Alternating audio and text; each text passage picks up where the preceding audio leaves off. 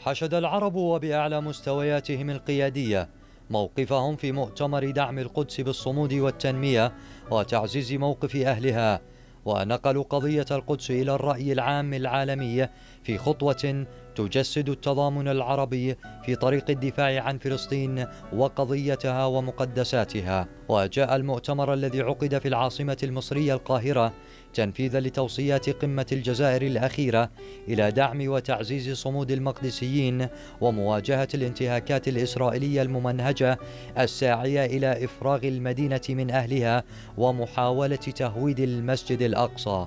وحضر البعد الاقتصادي والاستثماري في المؤتمر بالتوازي مع المحور القانوني باعتبار أن تعزيز الاستثمار بالقدس والبلدة القديمة منها أحد أساليب المقاومة والصمود.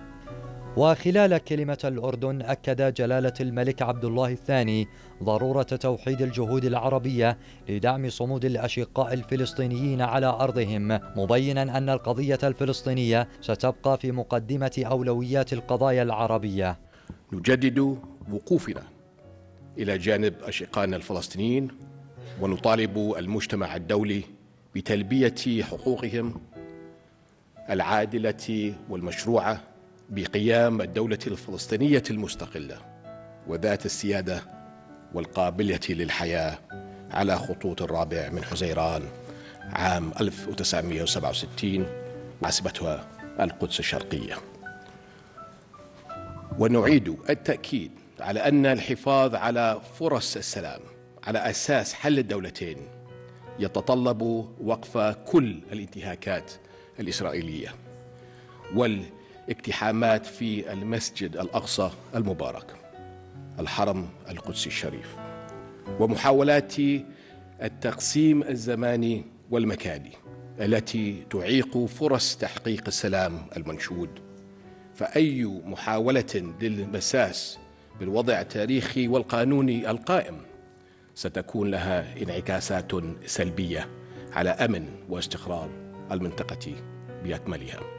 من جانبه شدد الرئيس المصري في كلمته على أن القضية الفلسطينية لا تزال أولوية لدى مصر والعرب مؤكدا دعم الشعب الفلسطيني في إقامة دولته وعاصمتها القدس الشرقية. كما يزيد من الأسف أن كل ما تقدم إنما يعوق حل الدولتين ووضع الطرفين والشرق الأوسط بأكمله أمام خيارات صعبة وخطيرة. لذلك فإنني أغتنم هذه المناسبة لتجديد دعوتي للمجتمع الدولي وشركاء السلام لضرورة العمل معا على إنفاذ حل الدولتين وتهيئة الظروف الملائمة لاستئناف عملية السلام بين فلسطين وإسرائيل باعتباره حجر الزاوية لتطلعات شعوب المنطقة لتحقيق الأمن الإقليمي والاستقرار والتعايش السلمي. كما أدعو الأطراف الدولية لعدم الاستسلام للجمود السياسي الذي يتراكم مع الزمن ويزيد من تعقيد التسوية في المستقبل. إن مصر ستستمر في الدعوة لمعالجة جذور الأزمة المتمثلة في الاحتلال ولن تألو جهدا في الدفاع عن الحقوق المشروعة للشعب الفلسطيني الذي طالت معاناته وستواصل من أجل هذا الهدف العمل مع طرفي الصراع لإعادة إحياء المسار السياسي كما سنواصل جهودنا للتعامل مع التحديات الآنية وسنعمل مع جميع الأطراف على التهدئة بالضفة الغربية وقطاع غزة. وقال الرئيس الفلسطيني محمود عباس إن الشعب الفلسطيني يتعرض لأبشع أشكال العدوان والاضطهاد خاصة في القدس المحتلة مشيرا إلى أن المؤتمر المخصص لقضية القدس سيكون بمستوى تلك القضية الكبيرة التي يتناولها. وكما رفض شعبنا وعد بالفور ونتائجه فقد رفضنا أيضا كل محاولات تصفية قضيتنا أو اختزالها أو تزييف وطمس حقائقها.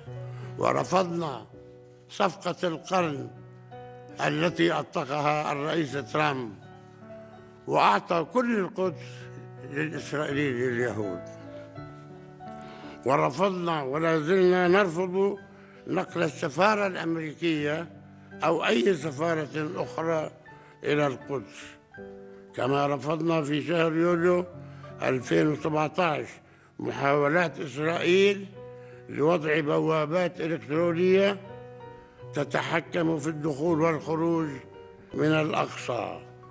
وضرب أهلنا في القدس أروع أمثلة البطولة والوحدة مسلموه ومسيحيوه في التصدي لهذه المؤامرة وإفشالها يذكر أن قمة الجزائر الأخيرة أوصت بضرورة وضع وصياغة استراتيجية عربية موحدة تحدد المواقف تجاه القضايا العربية وخاصة القضية الفلسطينية وعدم التنازل عن اعتبار مدينة القدس ذات المكانة العربية والإسلامية. لبرنامج بيت الكل شادي الشخامبة التلفزيون الأردني.